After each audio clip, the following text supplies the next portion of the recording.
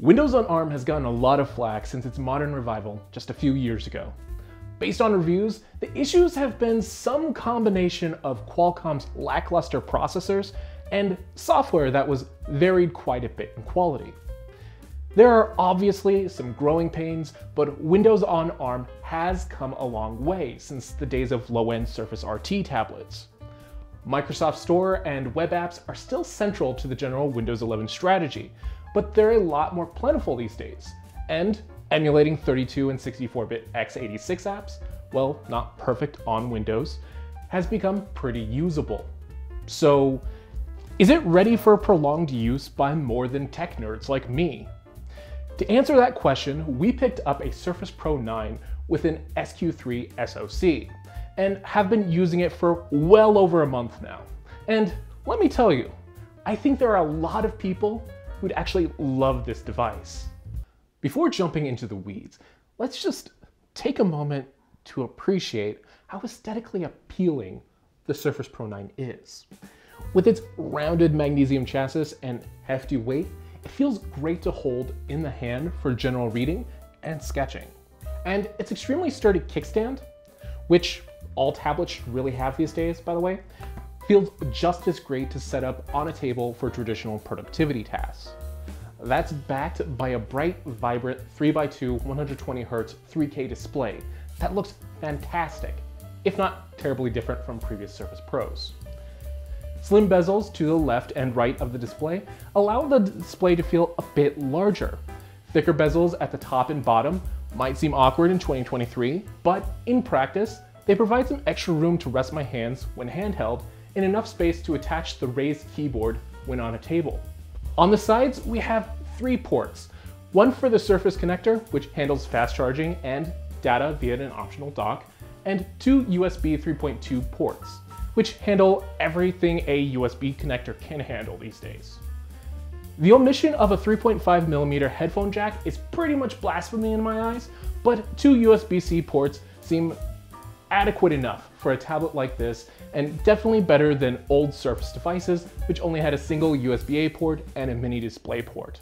On the inside, our unit has 256 gigabytes of storage via an M.2 2230 SSD, and that's upgradable with only a SIM ejector tool and Torx screwdriver. During our usage, downloading a few games, productivity apps, videos, and plugins only filled a little over half of the drive. Experiences may vary, but that's a positive sign for folks who want to just get the cheaper model. Plus, one terabyte SSDs are only about one to $200 these days for a future upgrade path. We also opted for 16 gigabytes of RAM. And honestly, if you're buying a laptop in 2023 for more than say $800, you shouldn't settle for less than 16 gigabytes, especially when, like with this tablet, that RAM's not upgradable. Even if you don't think you'll need that extra memory right now, the additional cushion will definitely make usage a bit smoother over time. Okay, on to how this thing actually feels to use. For general use cases, I'm talking browsing the web, chatting with friends, writing notes for later. The Surface Pro 9 just hits it out of the park. My typical usage has Edge open with up to a dozen tabs, at least one Office app, and at least one other app like a chat app, like Discord. I've seen RAM usage climb quite a bit, but CPU usage stays fairly low and the device stays fairly cool. Web browsing feels pretty smooth in general, even with a few web apps like Twitter, Tumblr, YouTube Studio, and multiple Gmail inboxes open at the same time as the various tech articles I'm in the middle of reading. Other reviewers have mentioned experiencing some slowdown while browsing web pages, especially in Chrome, but I've been using this device pretty heavily over the past month or so and haven't noticed any differences between it and my more powerful machines. That could be just a factor of a few months of extra development for the browser teams, to be honest. You could probably still tank performance if you open Chrome with a few dozen tabs that you're quickly cycling between, but I have a feeling normal usage won't cause many complaints these days. The one exception for us has been Google Maps. We recently tried to use the Pro 9 to search for lunch spots while traveling, and found that the labels on all the restaurants would randomly disappear. It's really weird. It, it was easy enough to just switch to one of our phones instead for the search, but it was still pretty annoying and indicates that not all web apps perform equally. But okay, switching to other productivity apps, you know, like the Office suite, it doesn't seem to stutter any. As one of the few ARM-based tablets with full Excel available, this is actually extremely usable for analytics work, even if top-end Excel functionality won't be as smooth as it could be elsewhere due to limited processing power. But for creating a few spreadsheets with maybe a few VBA functions or Power Query tables, I have no problem so far. Editing YouTube scripts in Word or taking notes in OneNote also feels pretty great, even with the keyboard detached since it's essentially the aspect ratio of a standard piece of paper. For quick wording changes and comments, the on-screen keyboard is perfectly usable. Outside of Office products, we also tried Google Docs and Sheets, as well as various coding IDs, and everything just worked without a hitch. As with all thin and light computers, there are probably some power user tasks which might break usability, but for general use, we have yet to experience any hiccups. We also tested out the webcam quite a bit. Across Teams, Discord, Zoom, and Facebook Messenger, the 5 megapixel 1080p webcam looked pretty great. That's partially thanks to an extra neural processing unit Microsoft added specifically to the SQ3 Surface Pro to offload some of the video and audio enhancement features. Right in the settings, it's easy to turn on quality of life features like auto framing, background blur, and a feature that slightly corrects line of sight to make it seem as though I'm actually looking at the camera when I'm actually looking at the screen. These are all extremely useful features for anyone who spends a lot of time in video calls and will likely satisfy most people who don't already need a dedicated webcam for their day-to-day -day routine. Throughout all of our testing and our extensive holiday travels, the battery also held up reasonably well. And based on personal experience, brand new Surface Pros do tend to have okay battery life in general, but the Pro 9 beat out my expectations with great standby time while packed in a bag and enough screen on time to last me about a full workday. Part of that's due to the lack of fan inside this tablet. Even when pushed a bit, it's a whisper quiet machine that doesn't seem to get above slightly warm during general usage. That lack of a fan could be detrimental to overall performance on any tasks that require sustained CPU or GPU usage, kind of like what we've seen with Apple's M2 machines. But for general productivity tasks, that's perfectly fine, considering the CPU and GPU will likely only be used in short bursts. The overall vibe here is that I'm able to do anything I've wanted to do with the Surface Pro 9 when it comes to general computing tasks. The only real annoyances were small performance glitches, like with Google Maps, and that apps occasionally take longer than expected to launch. Not quite sure why there was a delay, but it's kind of awkward to adjust to. Hopefully it gets patched out sooner rather than later. Other than those two issues, there haven't really been any slowdowns, stutters, or glitches while using the device for my basic everyday tasks. That doesn't mean the Surface Pro isn't without its faults though, as there were instances where we started to have some real mixed experiences.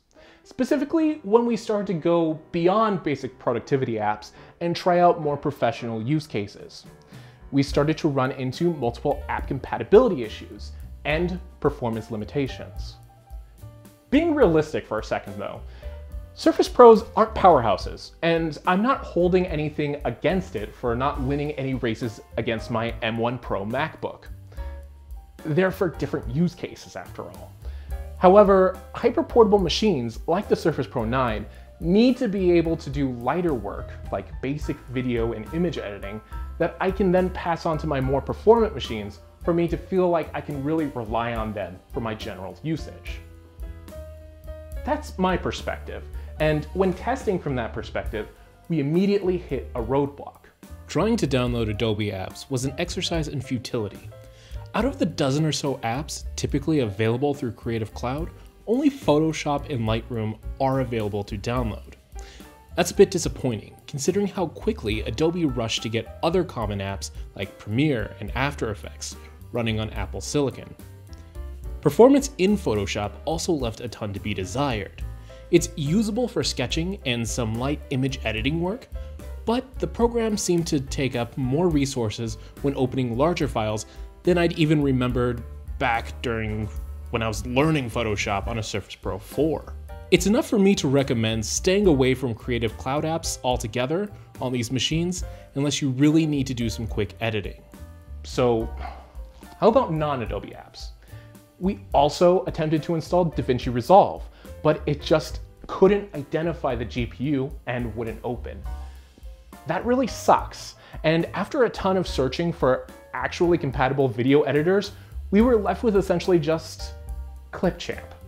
And from personal experience, Clipchamp's fine for quick, low quality trimming, but that's about it. Apps more focused on image editing or stylus input, like Affinity apps, Whiteboard, or Clip Studio Paint, worked pretty well though. Within Affinity Designer, I did notice some small slowdowns in certain menus, but I otherwise had a great time doodling some vector art using the app. Affinity Photo was much of the same experience, with no issues for basic photo editing, but slowdowns in certain menus. Those slowdowns seem more like a software issue than anything involved with the hardware, but might still be frustrating for anyone looking for non-Adobe tools. On the brighter side, this device seems almost made to use with Whiteboard, since the Slim Pen's haptic feedback works well in the app and without any noticeable delay when drawing or taking notes. The same could be said about Clip Studio Paint. Sketching, lining, and coloring feels fantastic. It's honestly become my favorite sketching tablet to just sit back and doodle on. I could totally see this as a single computer for an artist to sketch and finish a piece, make some additional edits, and then post it to all of their social media without any friction. Just to that artist, I'd say don't expect to use this for complex 3D scenes or heavily textured brushes. Those use cases also make more powerful machines struggle, so it's not a surprise that they're not ideal here, but it's worth noting regardless. Okay, so far not so bad. The questionable compatibility with Adobe apps and DaVinci Resolve kinda sucks, but as long as I can still use it for sketching and image editing, there's a definite role for the device in my workflow. Unfortunately, that highlights the potential problem with the device for others. Most of the apps I need work just fine, but I'll occasionally run into something that either doesn't work at all or only runs a bit slower through emulation. That ultimately means that if someone buys this device and their daily workflow depends on a lot of obscure or unoptimized apps, performance could be more sluggish or hit random roadblocks. Before investing in a new platform like this, most people will want to look up the apps they know they're going to use and see if they're supported. If they are, great. They'll likely have an experience close to mine with just a few hiccups and really normal performance outside of those occasional awkward moments. But if not, they could still maybe have a great time, but there's a solid chance they may not. And I think that chance is what really rubs people the wrong way when it comes to the ARM-based Surface devices. After all, no one wants to pay $2,000 for a computer running on a platform that limits how they can use their device. But I honestly think most people won't have a ton of issues with the Pro 9 as long as they don't buy into it expecting something revolutionary. Although, I might honestly be tempted to consider it revolutionary myself especially when looking at the competition.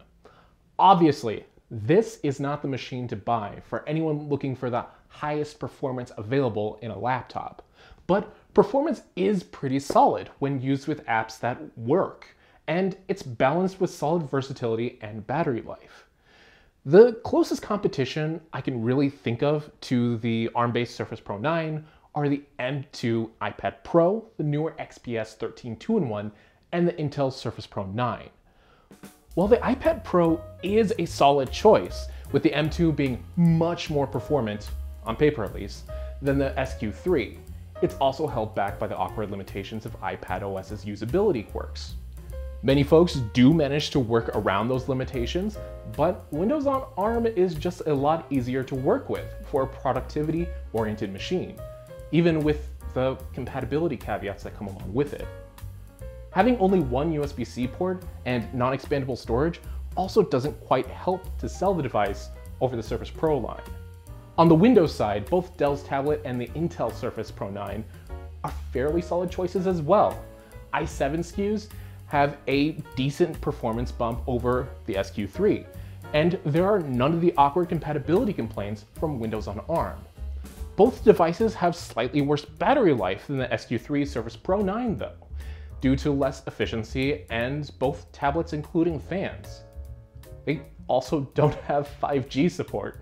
And I, I know, a lot of you might probably roll your eyes at that.